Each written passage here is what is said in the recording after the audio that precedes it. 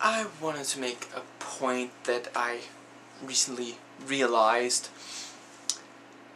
Isn't it interesting that capitalists, when I'm talking about the, hardcore ones, the ones that defend capitalism, and don't really want to have any changes made, certainly not away from corporations earning a lot of money and from rich people being defended in their right to be rich other people's expense.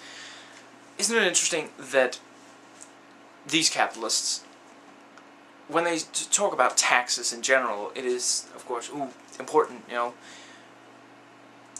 it, you know, required to, you know, make democracy work, you know, the government needs this money to, you know, and it'll help everyone, and when they then hear the suggestion of the rich paying more money because they can actually still make it without having quite as much money as they have. They can give more of their money away and still be fine than the poor people.